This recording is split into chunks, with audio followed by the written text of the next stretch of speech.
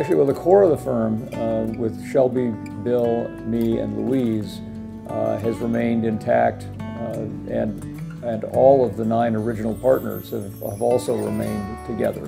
I joined in 1981, uh, eventually became Paul Johnson Alston and Hunt, and at some point Louise Ing joined us. Um, and in 1991, we decided to begin our own firm uh, because we wanted to grow into a larger firm.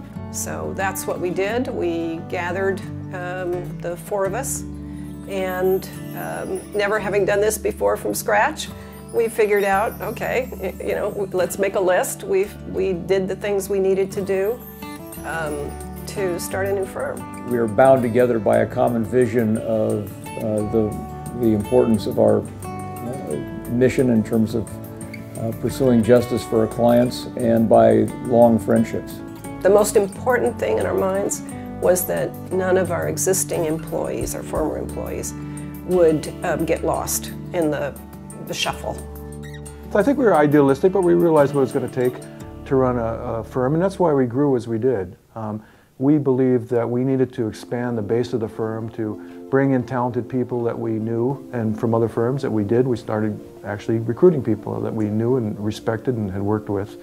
I think some of us had a desire to, that in order to do good work for our clients and make an impact in the community, we needed to grow as much as necessary in order to be able to service our clients and also develop our professional skills.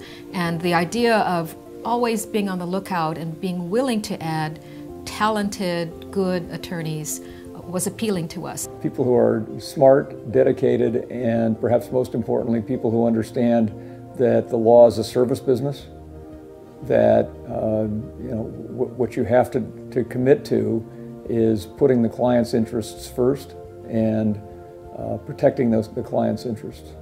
But it was a plan to be um, the best, to really focus on client service, uh, you know, maximize our skills for the benefit of our clients.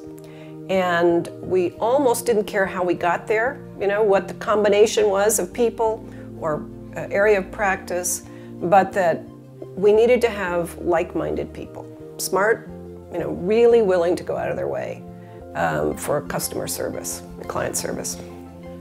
It is the fact that the firm feels progressive, that it allows all of the attorneys to pursue their interests and how they want to um, practice law how they want to work in the community, what they want to do. I think that's what allows us to have the network because the attorneys get to pursue what they're interested in. I mean, we have people who recognize that, that we must work as a team, both with the client and internally you know, among the lawyers in the firm.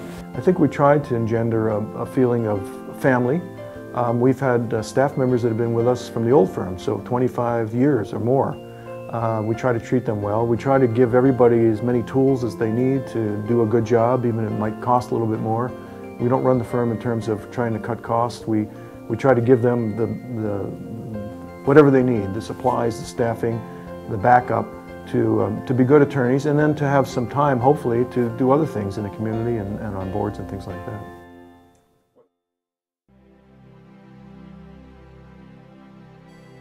When I talk to young attorneys, I want them to see that it's not simply a business.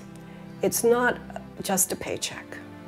Um, ideally, they love the practice of law. They have to find that particular aspect in the practice that really lights them up and bring all that passion to the work that they do in the office. When you see that flame lit where it is the law that is their passion. Um, it's wonderful. Ultimately, whether you're dealing with a big business client or an individual client, it comes down to the people and the personal relationships you develop with that client or client representative. And, um, you know, our goal is, in representing them is to make them look good and to get their problem solved. You can't look at the client's problem simply in isolation. You have to look at it as part of a larger and an ongoing set of relationships uh, so that uh, you know you haven't uh, won the battle and lost the war, so to speak. I would define Alston Hunt Floyd and Ing. by its unique focus on helping people, rich and poor, famous and infamous, solve legal problems, and whether they entail litigation or government relations or other skills that we can bring, we will help people solve problems.